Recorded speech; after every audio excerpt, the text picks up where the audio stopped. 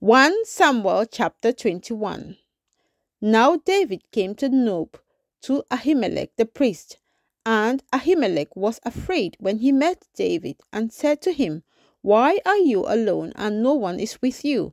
So David said to Ahimelech the priest, The king has ordered me on some business and said to me, Do not let anyone know anything about the business on which I send you or what I have commanded you, and I have directed my young men to such and such a place. Now, therefore, what have you on hand? Give me five loaves of bread in my hand, or whatever can be found. And the priest answered David and said, There is no common bread on hand, but there is holy bread, if the young men have at least kept themselves from women. Then David answered the priest and said to him, Truly, women have been kept from us about three days since I came out, and the vessels of the young men are holy, and the bread is in effect common, even though it was consecrated in the vessel this day. So the priest gave him holy bread, for there was no bread there but the showbread which had been taken from before the Lord in order to put hot bread in its place on that day when it was taken away. Now a certain man of the servants of Saul was there that day, detained before the Lord, and his name was Doeg, an Edomite, the chief of the herdsmen who belonged to Saul. And David said to Ahimelech, Is there not here on hand a spear or a sword? For I have brought neither my sword nor my weapons with me, because the king's business required haste. So the priest said, The sword of Goliath the Philistine, whom you killed in the valley of Elah. There it is, wrapped in a cloth behind the ephod. If you will take that, take it, for there is no other except that one here. And David said, There is none like it, give it to me. Then David arose and fled that day from before Saul and went to Achish, the king of Gath. And the servants of Achish said to him, Is this not David, the king of the land? Did they not sing of him to one another in dances, saying, Saul has slain his thousands, and David his ten thousands?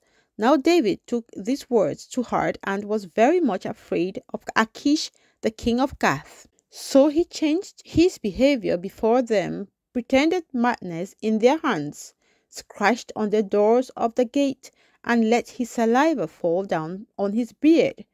Then Achish said to his servants, Look, you see the man is insane. Why have you brought him to me? Have I need of madmen that you have brought this fellow to play the madman in my presence? Shall this fellow come into my house? 1 Samuel chapter 22. David therefore departed from there and escaped to the cave of Adullam. So when his brothers and all his father's house heard it, they went down there to him. And everyone who was in distress, everyone who was in debt, and everyone who was discontented gathered to him. So he became captain over them, and there were about four hundred men with him.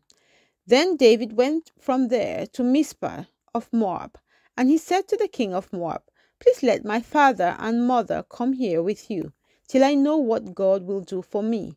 So he brought them before the king of Moab, and they dwelt with him all the time that David was in the stronghold. Now the prophet Gad said to David, Do not stay in the stronghold, depart and go to the land of Judah. So David departed and went into the forest of Hereth. When Saul heard that David and the men who were with him had been discovered, now Saul was staying in Gibeah under a tamarisk tree in Ramah, with his spear in his hand and all his servants standing about him. Then Saul said to his servants who stood about him, Hear now, you Benjamites, Will the son of Jesse give every one of you fields and vineyards, and make you all captains of thousands and captains of hundreds? All of you have conspired against me, and there is no one who reveals to me that my son has made a covenant with the son of Jesse, and there is not one of you who is sorry for me or reveals to me that my son has stirred up my servants against me to lie in wait as it is this day. Then answered Doeg the Edomite, who was set over the servants of Saul, and said, I saw the son of Jesse going to Nob to Ahimelech the son of Ahitub, and he inquired of the Lord for him, gave him provisions, and gave him the sword of Goliath the Philistine. So the king sent to call Ahimelech the priest, the son of Ahitub, and all his father's house, the priests who were in Nob. And they all came to the king, and Saul said, Hear now, son of Ahitub. He answered, Here I am, my lord. Then Saul said to him, Why have you conspired against me, you and the son of Jesse, in that you have given him bread and a sword, and have inquired of God for him, that he should rise against me to lie in wait as it is this day. So Ahimelech answered the king and said, And who among all your servants is as faithful as David? Who is the king's son in law who goes at your bidding and is honorable in your house?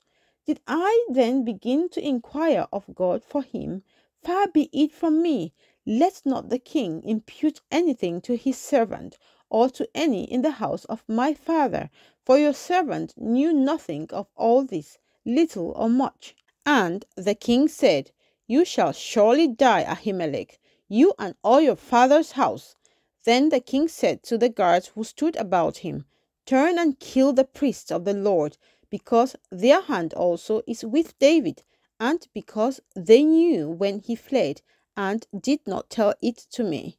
But the servants of the king would not lift their hands to strike the priests of the Lord. And the king said to Doeg, You turn and kill the priest. So Doeg the Edomite turned and struck the priests and killed on that day eighty five men who wore a linen ephod.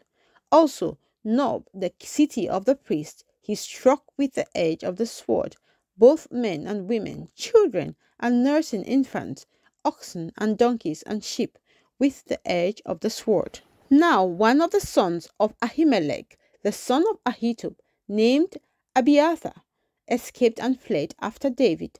And Abiathar told David that Saul had killed the Lord's priests. So David said to Abiathar, I knew that day when Doeg the Edomite was there that he would surely tell Saul, I have caused the death of all the persons of your father's house.